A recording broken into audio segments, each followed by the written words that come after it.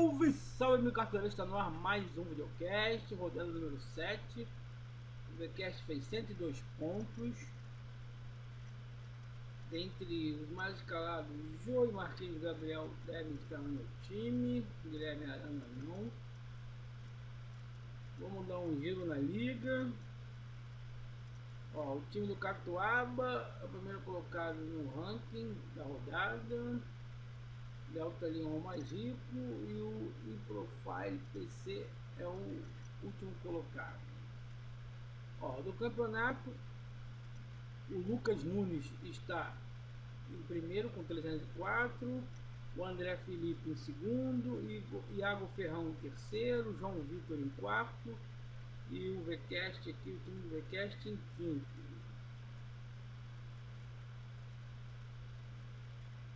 Vamos da última rodada. Eu fiquei em sexto. O Iago Ferrão ficou em primeiro com 120 pontos. Eu fiquei em sexto.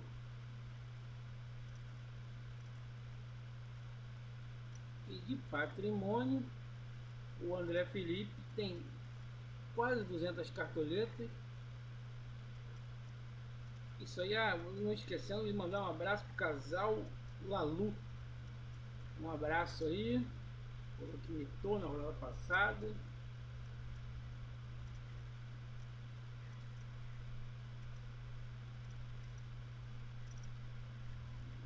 Eu acho que eu ganhei 11 cartoletas, se não me engano. Ó, da zaga aqui, o único que foi mal do sistema defensivo foi o Gatito, que só fez uma defesa difícil. Diego Barbosa cumpriu o papel. O Arnaldo e o Igor Rabelo, mesmo sem esse jeito, tomando dois gols, mas eles são muito. Eles roubam muita bola, são muito produtivos. O Jeromel não tem nem o que falar. Ontem ele estava fazendo 20, aí revisaram, botaram para 18. Ó, o Douglas esculachou fez gols, mas mesmo sem o gol, você tira 8 pontos. Ele teve acho que 5 ou 6 roubadas de bola. Porque quando o Nenê joga, ele fica como volante, mas ele chega muito como segundo volante. Então, o próximo jogo contra a Chapecó, ele vai jogar também, com o Nenê está provável. Ó, o Thiago Neves pontuou bem, mas perdeu dois pontos porque tomou cartão amarelo no banco de reserva. Ele tinha substituição, era mais dois pontinhos aí. O Alisson entrou no segundo tempo no lugar do Rafael Marques. Se ele tá no começo, ele ia esculachar e ia tá bonito. O Fred sem gol, até que foi bem. O, todo mundo de, indo de Jô. E o Jô foi pior do que ele. Quem eu tinha que colocar aí era o Luca. Se eu coloco o Luca aí, eu arrebento. Ninguém negativou. Ábila é, é o que eu esperava. Esperava até mais. O Luiz Fabiano era aquilo mesmo, era gol. E o Mano fez o prometido, que era o SG, mais a vitória. E isso aí. É, vamos dar aqui um. Aqui ó, a média foi de 51, ficamos 50 pontos a mais. Isso é ótimo. Olha lá, com ganho de 11,45 cartoletas. Ó, aqui está a minha média. Falei na rodada passada que eu quero chegar a 75. Estou quase, estou com praticamente 70. Isso aqui é a variação das cartoletas. Eu não tive nenhuma uma rodada negativa. Essas aqui foram para ganhar, esse aqui foi para ponto, ganhar, ponto, e aqui ponto e eu ganhei. Se você for, for bem, né, você vai ganhar cartoleta. Ó, esse aqui são as opções de para técnico. O meu favorito é o Roger Machado. Segundo, Pachequinho, Zé Ricardo e Zé Ventura também pelo sistema defensivo, que ganha muitos pontos. Tem muito volante é que o time não vem fazendo gol. Mas eu acho que é favorito, tem uma zaga sólida, mas Roger é a minha opção. A minha primeira opção é Gatito, mas eu estou em dúvida com o Felipe Garcia. Teve só um jogo que teve SG e a média dele é de 7.42. Quer dizer, na rodada passada ele fez 5 ou 6 defesas difíceis. Ele é muito, muito, muito exigido. Então ele tem trabalho, o time é fraco. Eu botei aqui também o Maurício, do Havaí, eu acredito também em defesas difíceis. Esse jogo pode ser 0x0, eu acho um jogo maluco. Ele pode ser 0x0, mas também pode ser 3x3, 3x1, para qualquer um dos dois times. Ó, Renan Ribeiro também, acho boa. E o Vitor. Pega o lanterna, joga em casa, mas o Atlético ele deixa ser atacado. E um lembrete, eu falei na passada do, do Groy, né? Ele não faz defesa difícil, não faz mesmo, ele não fez. Tem, se você ver no seu cartola aí, vai ter zero. Ó, pra mim aqui, Vitor Luiz é unanimidade. Aí segundo você vem com Alex Silva, Carleto, ele costumava, é o primeiro, vai ser o primeiro jogo dele, ele costumava bater falta de longe, então vai ter bastante finalizações. Costuma, costumava fazer gol, né? Não sei como ele tá. E o capa aqui, que é praticamente um ponta direita. Ele ataca muito, então pode ser um diferencial. Ó, Igor Rabelo aqui também ótimo, é primeira opção. Rouba muita bola. Jeromel tira o gol e a assistência dele. Que é gol não, é assistência o SG. São 10 pontos, ele ia ficar com 8. Só de roubada de bola, falta sofrida, ele faz algumas faltas também. Ele finaliza de cabeça. O Juan, também boa. Se você tirar aí a assistência dele, fica com 5 pontos, só de roubar de bola. Márcio eu acho também uma ótima. Eu devo ir com o Márcio aqui, eu já fiz até o time, só que eu esqueci. Felipe Santana também boa e o Pablo. O Pablo aqui eu botei mais pelo confronto, mas a média dele é ridícula. Eu não rouba a bola. Só pontua bem se fizer um gol ou dar uma assistência, raspar de cabeça. Esse aqui seria minha última opção. Se você quiser ir sem lateral essa rodada, pode ir sem lateral e coloca aí, ó, Igor Rabelo, Márcio, Juan, Jeromel. Se não tiver cartoleta para esse, bota o Felipe Santana, mais ou menos o preço do Juan. Você escolhe aí. Nunca copie o time, entendeu? Faça seu próprio time. Veja vários vídeos, vários sites. Vê quais são os, os nomes que estão se repetindo. Aí você coloca, às vezes tem uma ver vários vídeos, é bom que você, pô, não pensei nesse cara, pô, esse cara é bom, entendeu? Te desperta alguma coisa, mas a melhor coisa é você montar o seu próprio time, fazer, entendeu? fazer mais de 100 pontos ou 50, mas fazendo você mesmo. Ó, meio campo tá muito ruim de escalar, muito ruim. Eu, eu acho o Marquinhos Gabriel a melhor opção, Diego também. Aí eu vou eu devo ir com esse e com o Jean e o Jean jogando fora. O Wellington não vai jogar, então ele vai ser o principal volante. Tem muito mais possibilidade de roubar a bola. Ele é um jogador que não faz muita falta. Esse Silva aqui também roubou. Primeiro jogo dele, o 6.3 só foi de roubar de bola. O Arthur também rouba muita bola e pode dar assistência.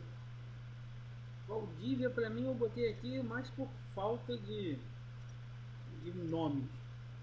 Porque de repente o Casares volta e ele sai e eu coloco Casares. Aí Casares tá certo.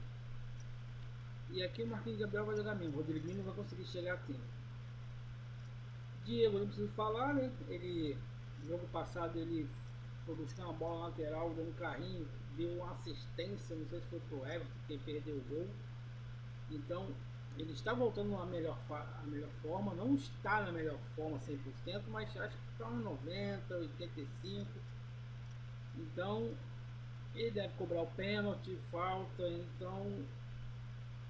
E o Rodrigo Lindoso aqui, que média ótima que ele tem, pode dar assistência, o Botafogo joga com, com três volantes ali subindo, vai um, fica outro. E eu acredito Ó, e aqui o ataque. O Fred está em dúvida. Mas eu botei aqui porque eu acho que ele deve jogar. Ele foi poupado. Se ele não jogar, aí eu tô em dúvida entre colocar o Everaldo do Atlético Goianiense, também é cobrador de pênalti, ou o mesmo He-Man que vai entrar no lugar dele. Eu não quero ir de Robinho. Posso me estrepar, mas essa é a minha visão. Ó, Henrique também Almeida, ótimo, média boa. Jô também bom, jogou bem. Só que no jogo passado ele perdeu dois gols. Ia dar assistência, sofreu pênalti. Ele jogou bem. Então ele merece estar no time. Henrique Dourado para mim é ótimo. Faz gol todo jogo. Melhor média. O Grêmio jogando fora de casa contra a Chapecoense. Tomou três gols, então tem juiz aí que tá dando pênalti a balde. Eu gosto também do Lucas Prato, mas ele jogando fora vem decepcionando. Mas o esporte vem está muito fraco. Então acredito que ele deve fazer um gol, uma assistência. O Ayrton Paulista boa para mim também. O Vasco fora de casa joga retrancado. Quando toma um gol, parte para cima. E pode sobrar algumas bolas para ele. Não é a minha primeira opção, minha segunda e terceira. Mas acho boa. E o Luan, né, aqui, sem gol, sem assistência, só chutando finalizando fora da área, roubando bola, fez 8.9. Falei que não ia com ele, que eu esperava que ele assim que o Bahia se fecha. Mas vamos lá. Aqui está o time para valorização. Aqui, como eu tinha feito muito tempo atrás, tinha tá assim estranho porque tinha o Reinaldo. Mas eu tive que colocar o Pará, que fazer tudo de novo, então decidi só printar aí e colocar. Ó, mas Andrei, todos esses aqui devem valorizar bastante, mas bastante mesmo. E até que é um time bom. E aí eu lembrei se você tem pouca, se você tem 140, 150 cartoletas, essa rodada tá difícil.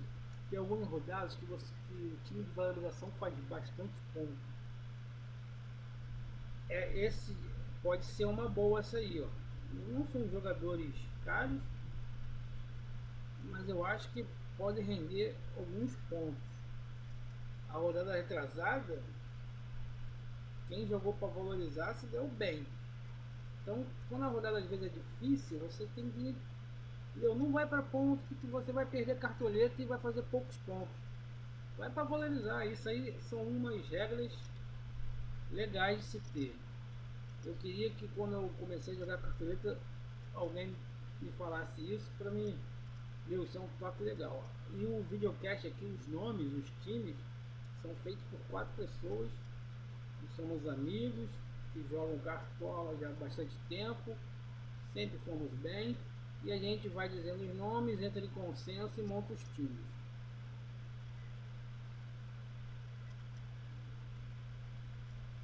essa aqui é fazer a cartoleta. Esse aqui é o time com. Para quem tá duro. Faço sempre com menos de 100 cartoletas. Também não jogadores muito caros. Não passa de 12, 13, 15. Ó, o goleiro aqui. O primeiro o time baratinho, mas também não é ruim. Pode pontuar também bastante. A média de pontuação desses times aí fica em 50, 60 pontos, entendeu? No ano passado o time até foi bem. É que esse time aqui, a gente não tem um time próprio para mostrar o resultado. Porque às vezes os jogadores ficam até não, é, improváveis, né? Ou em dúvida. Mas a gente dá aqui mais ou menos o que a gente colocaria no nosso time. E esse aqui é o time do VCast, com Gatito, o líder de defesa difíceis, Vitor Luiz rouba a bola e vai ao ataque, Alex Silva, Márcio, Juan. A dúvida ficou entre Juan e Jeromel, mas como o Henrique Dourado está no time, seria uma incoerência, entendeu? mas nem tanta. Essa também foi a discussão. Que o Jeromel sempre pontua, mesmo sem SG. Então, ficou a dúvida, mas pelo confronto do Flamengo e Ponte Preta, o Juan ganhou a vaga. Diego, que eu já expliquei, Jean também expliquei pelo roubado de bola, Marquinhos Gabriel, tudo eu expliquei. E o Fred aqui, aquele, aquele, aquele esquema. Né? Ou entra He-Man, ou a gente vai entrar em um consenso. Eu estou querendo apostar muito no Everaldo, do Atlético Goianiense. Mas alguns também querem pratos, outros até esqueci aqui. Mas o He-Man para mim seria uma ótima opção. É isso aí, galera. Boa sorte a todos e até a próxima rodada.